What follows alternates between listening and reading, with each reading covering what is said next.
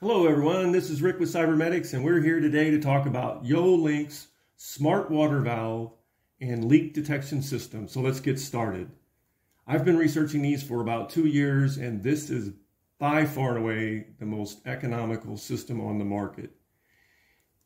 It's advanced in the sense that it uses something called LORA, which stands for long range. It's, it's a low power spread spectrum frequency technology that allows these sensors to communicate up to a thousand feet away.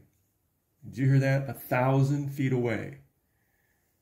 The other interesting thing about this is that these sensors are paired individually with the controller and or the alarm device so that you do not actually have to have an application. You don't have to have internet, and it's all battery operated. So even if you didn't have power, think about that for a second.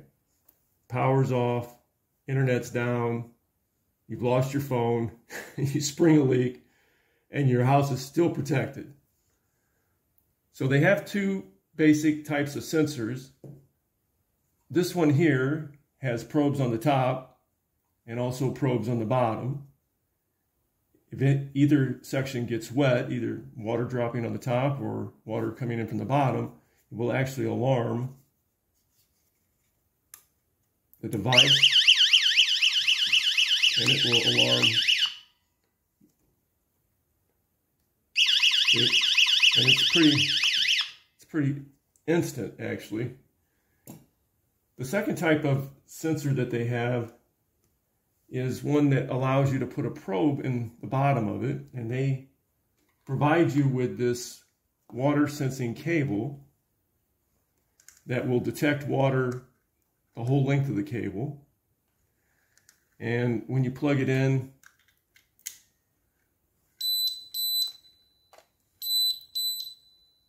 it will detect and it will actually shut off the valve just like the other one plug it in. So immediately, within a second or so, it shuts the valve off. The only way to stop the sound is to actually unplug the wet probe. One of the interesting things about this too is that they sell extension cables for these that allow you to extend the cable. They're about $10 a piece. But all you need is to extend the length of it, you can use a regular standard audio cable and you can plug it into the water probe cable and you see it's still sensing the fact the cable's wet and these are about $3 versus $10.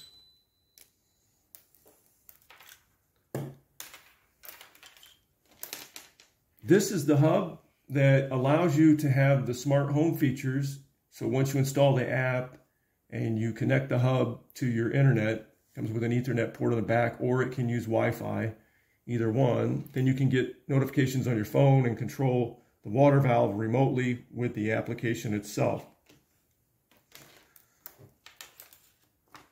The big thing you'll find about this compared to Flo or Phyn is the whole system is going to be less, way less than half.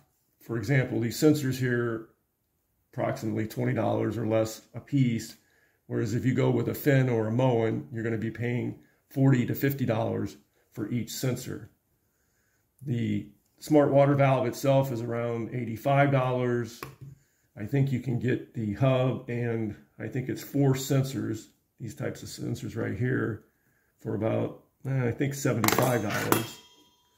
So you can see that you can you could save a lot of money by buying the system and the fact that it doesn't rely on internet is a big selling factor. So if you have any questions, please post them below. I encourage you to subscribe because we'll be providing some updated videos as we go along. This is Rick with Cybermedics signing out for now. Hope you have a great rest of your day.